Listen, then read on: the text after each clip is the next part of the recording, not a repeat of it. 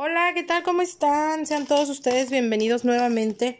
Y bueno, pues vámonos rápido, chicos. En esta ocasión les traigo a compartir la manera en que podemos utilizar estos efectos reflectivos. En esta ocasión yo tengo de la marca de Love Crazy. Viene el paquetito así con 6 y la verdad es que está súper económico. Creo que a mí me costó como 20 o 25 pesos, no, es, no me acuerdo muy bien, pero pueden ver el video de las compras que hice en esa tienda. Love Crazy es una tienda que la encuentran en Peña y Peña en la Ciudad de México y que hace envíos a todo México por un costo muy muy bajo y que además siempre tiene promociones. Y bueno, pues en esta ocasión quise hacerles este video porque muchas veces nosotros vemos las, eh, los paquetitos así y decimos, no, pues a mí no me piden ese efecto, yo para qué lo quiero, o ahí se me va a quedar. Lo que pasa es que no nos damos cuenta que tiene multiusos podemos sacarle muchísimo provecho porque aquí no nada más tienes un efecto que vas a poder aplicar en una sola forma. Yo, por ejemplo, quiero mostrarles que lo podemos utilizar para hacer efectos o acrílicos de color. En esta ocasión voy a estar utilizando este que es como un mm, como lilita. Si se fijan, les voy a activar el flash en este momento para que vean es como un moradito. En persona se ve como lila, pero ya cuando ves el flash prendido, pues te das cuenta que se intensifica mucho. Y aquí tengo un acrílico que utilicé para aplicar unas uñas ahora eh, en estos días. Es un lila. Eh, pues no es translúcido, pero es un lila muy muy bajito, yo lo hice. Solamente le mezclé acrílico cristal con un morado muy bajitito.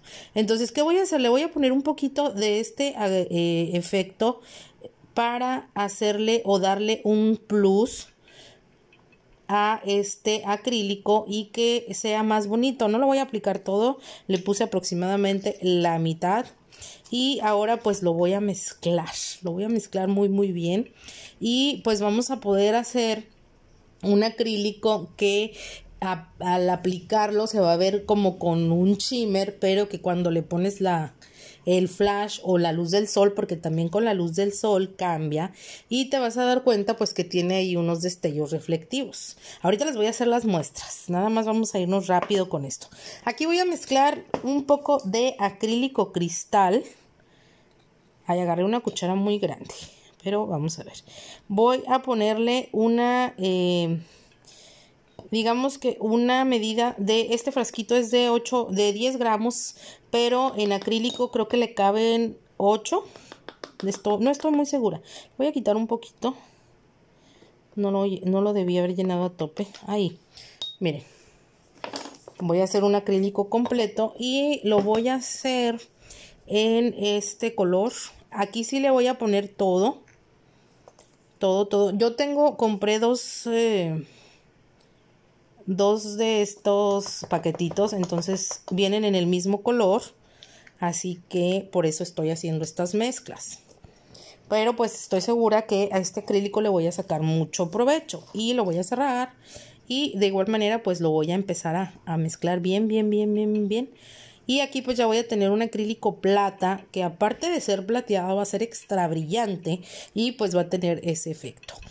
Les digo que ahorita hacemos las muestras rápidamente para que ustedes puedan ver el resultado. No nada más es enseñarles cómo, cómo hacerlo, sino también cómo, cómo se va a ver en, en realidad. Lo mezclamos, lo mezclamos, lo mezclamos.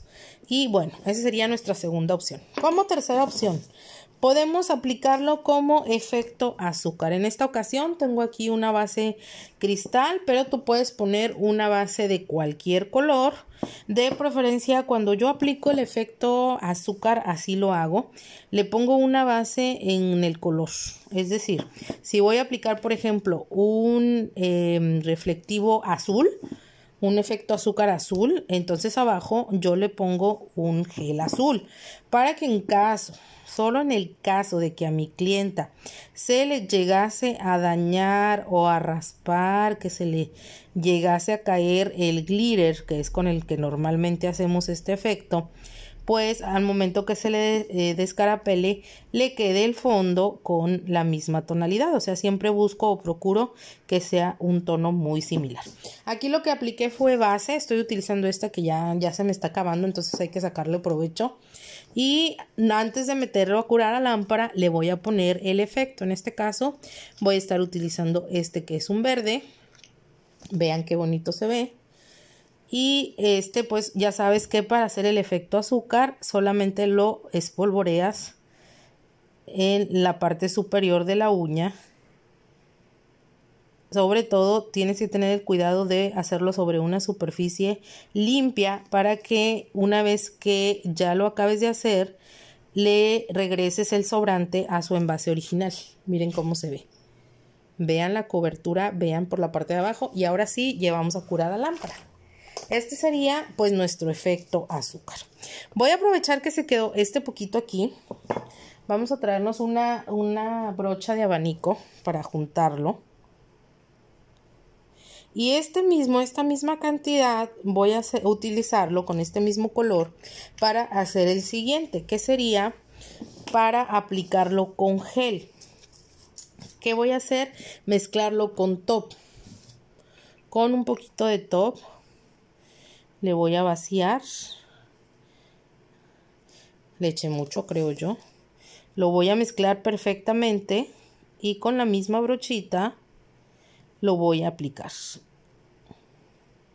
Aquí depende de ti qué tan eh, concentrado lo quieras. Si tú quieres que se vea tupidito, pues le pones menos eh, top, más cantidad de, del efecto. O si quieres que se vea solamente como un destello, así como un tipo polvo de hada, un shimmer, le pones menor cantidad. Ahí ya va a tu elección, mira lo llevas a curar a lámpara. Y ya tienes también tu gel de, eh, de color, tu gel con efecto reflectivo. Espérenme porque aquí al meterlo a lámpara tuvo un accidente y se pegó. Ok. Mismo caso, voy a hacer lo mismo, pero primero hay que limpiar la brochita. Pero lo voy a mezclar con un gel de color un gel de color, entonces voy a buscar uno que sea similar. No le hace que ya le haya puesto el top, porque pues en este caso convertiría mi gel en un gel de un solo paso. Voy a buscar un color verde que me sirva para mezclarlo con ese que ya tenemos aquí. Vamos a ver. Vamos a tener unas dos o tres opciones para que ustedes puedan o más bien yo pueda checar cuál sería como el más parecido, sería este. No, este es como un olivo. Estos envases engañan. Creo que es este. Este sí, miren. Le voy a poner aquí unas gotas de el color. Esto lo puedes hacer directamente en tu envase puedes vaciarle con un, eh, ¿cómo se llaman estos? Un... Ay, ayúdenme, de esos que utilizamos para vaciar cosas, para verter cosas en cuando están más chicos los la boca del envase. Lo usamos en la comida también. No me acuerdo. Alguien que me acuerde. Bueno, le ponemos es como un cono. pero no recuerdo bien, la verdad no recuerdo. Miren, lo mezclamos perfectamente el efecto con nuestro gel, gel de color.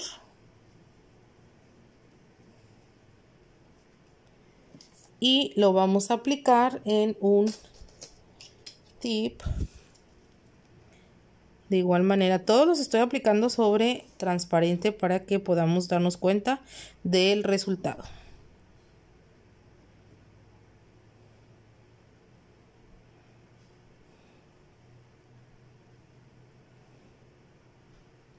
y aquí tenemos un gel de color con efecto reflectivo. Mismo caso que en el anterior. Depende qué tan, eh, qué tan saturado lo quieras. Es el pigmento que le vas a poner. Miren, vamos a llevarlo a lámpara. Y mientras tanto vamos a hacer la prueba de el acrílico. Tenemos por aquí un poquito de monómero. Tenemos aquí un pincel. Vamos a agarrar una servitoalla para hacer la muestra del resultado de nuestro acrílico, nuestros dos acrílicos. En este caso vamos a aplicar primero este que es el plata. Así es como quedó. Vamos a humedecer el pincel. Me doy cuenta que está perfecta eh, la mezcla porque se levantan perlas de buen tamaño o si me si siento que no lo puedo manejar quiere decir que necesito ponerle más acrílico. Entonces ya ahí depende de cada quien también. Le puedes poner más acrílico cristal o menos eh, pigmento reflectivo. Miren vamos a dejarlo que seque y mientras tanto limpiamos nuestro pincel, cerramos nuestro bote y nos traemos el siguiente. Déjenme agarro otro tip cristal porque aquí me traje puros naturales. Y vamos a tomar nuestra mezcla de la misma forma.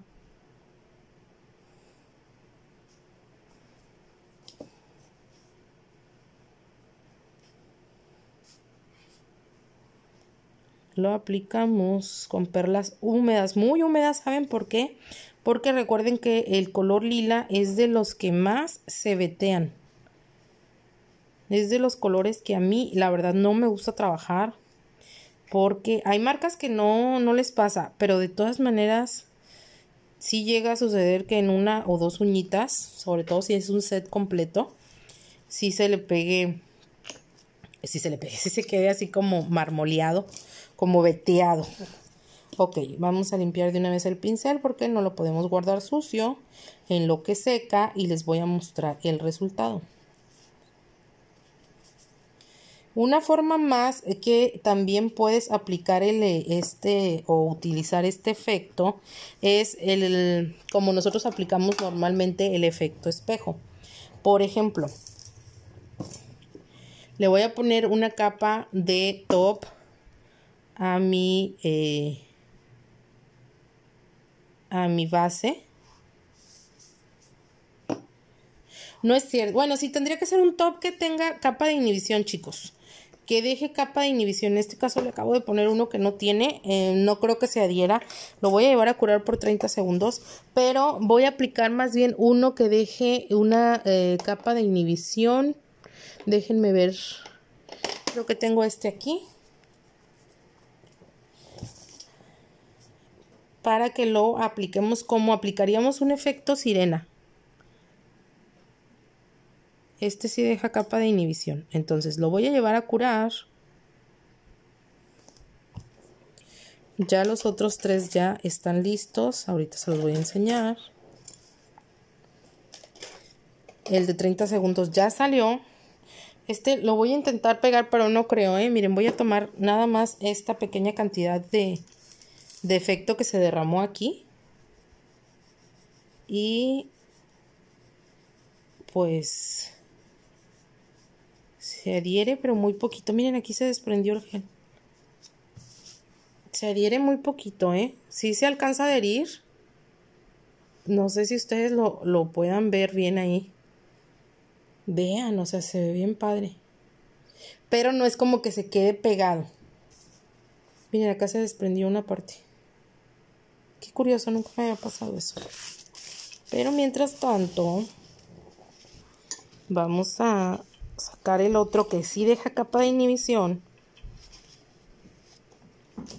Y ahí lo vamos a aplicar con este que es el doradito. Vamos a sacarlo. Voy a tomar con la yema del dedo y lo voy a, a poner Normalmente es como aplicaríamos un efecto nosotros, un efecto espejo.